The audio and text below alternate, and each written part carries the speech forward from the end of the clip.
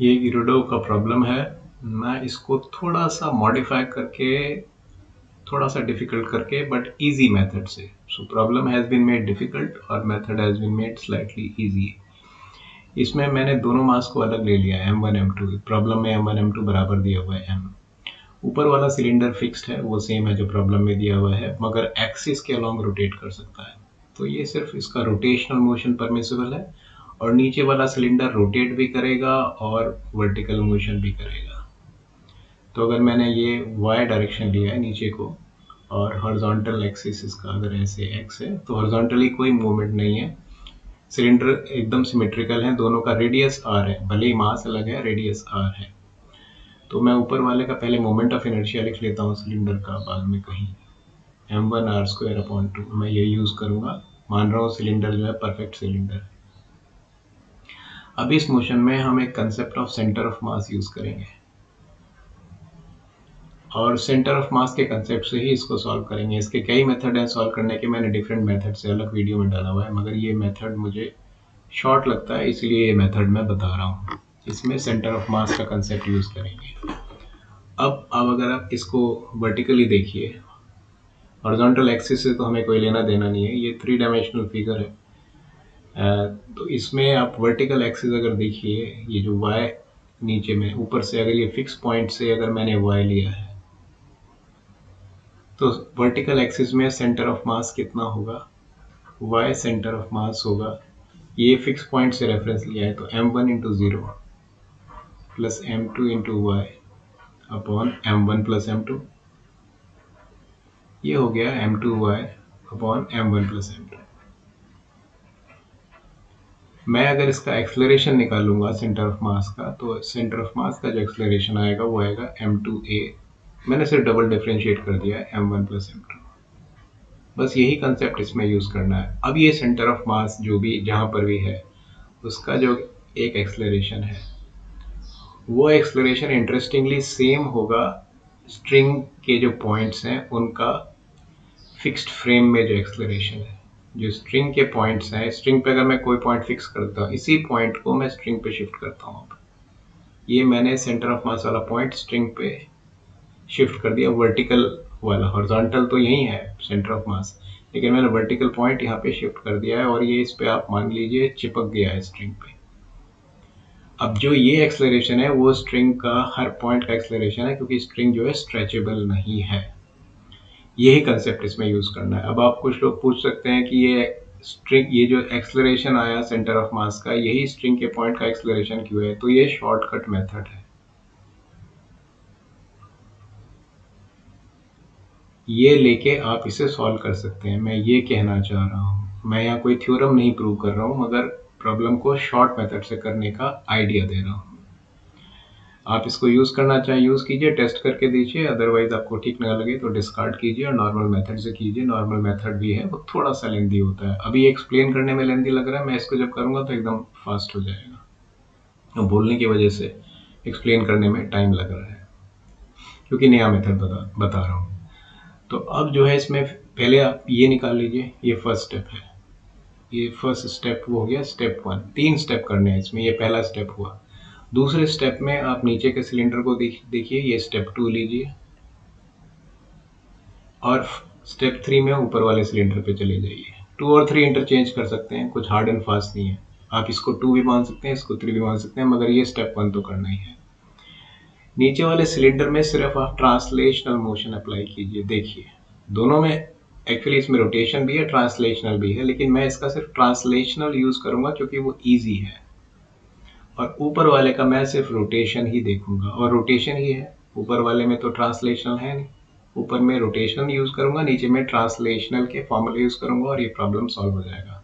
तब मैं नीचे वाले सिलेंडर को देखता हूँ। उसका एक्सलरेशन क्या है? ए है।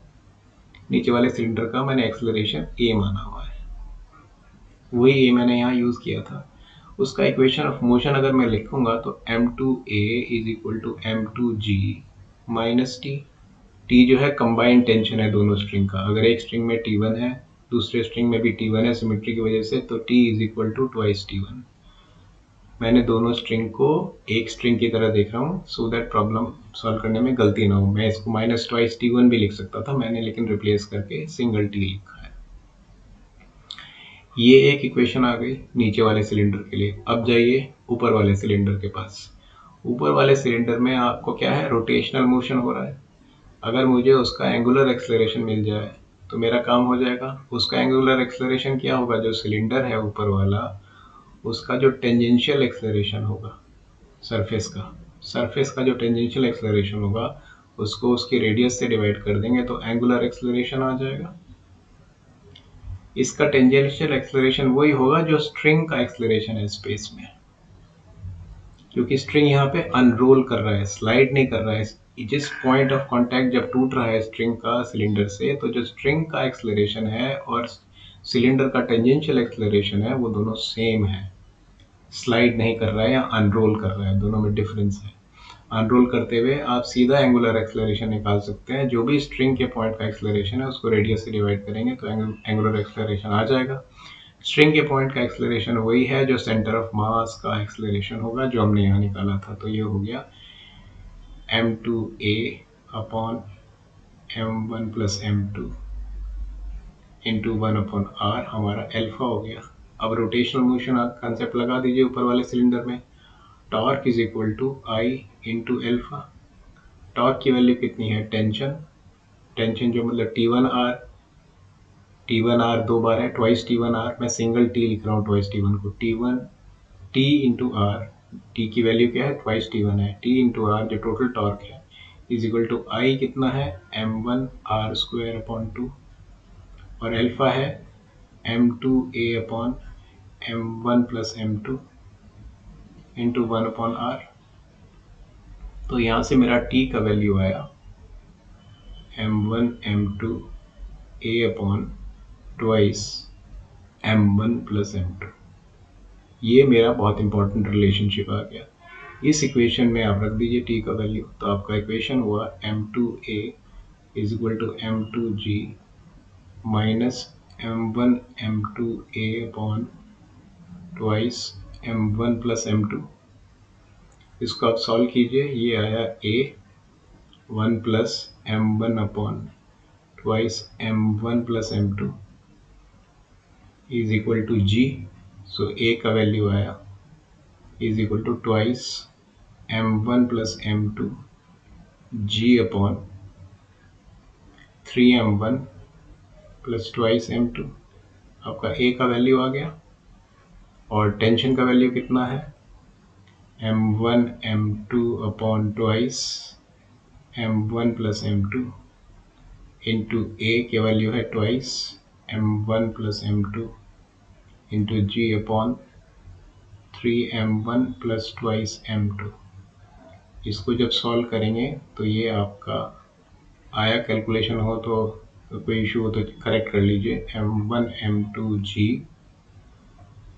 upon three M one plus twice M two ये हमारा टी का वैल्यू है तो टी वन का वैल्यू कितना होगा? टी वन का वैल्यू होगा T was twice T one तो टी वन का वैल्यू है T upon two so T one जो है M one M two G upon twice three M one plus twice M two अगर M one M two equal है तो ये हो गया M square G upon two five M ये हो गया एम जी अपॉन टेन जो कि आंसर है आपका एक स्ट्रिंग का। अगर दोनों मासेस सेम है तो।